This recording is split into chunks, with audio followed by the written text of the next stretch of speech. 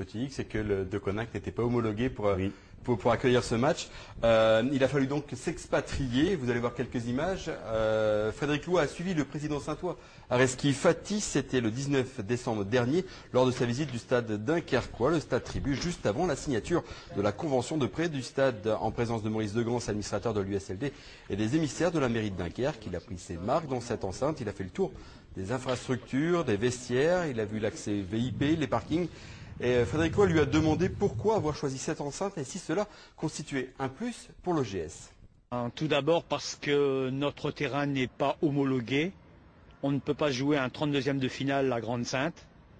Ça, c'est notre euh, gros problème. Et ensuite, euh, c'est un problème sans être un problème parce que notre euh, capacité est de 1500 places. Et la chance qu'on a de pouvoir organiser le match à Dunkerque, c'est qu'on va pouvoir accueillir plus de 3000 personnes. Et j'ai le bon sentiment que le stade sera plein à cette occasion.